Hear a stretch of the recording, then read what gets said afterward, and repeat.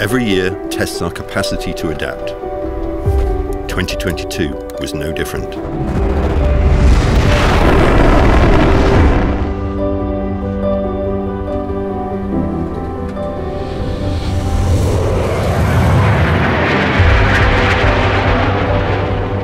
We are building the future European system of defence and are actively shaping NATO's future surveillance and control capabilities.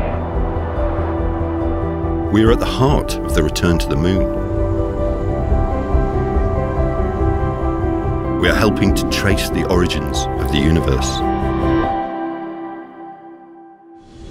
We are always on duty to support our customers so they can fulfill their missions, saving lives and ensuring a better future for us all.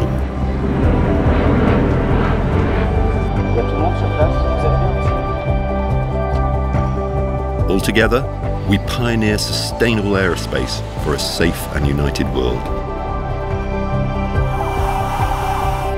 With the clear ambition of being a force for good.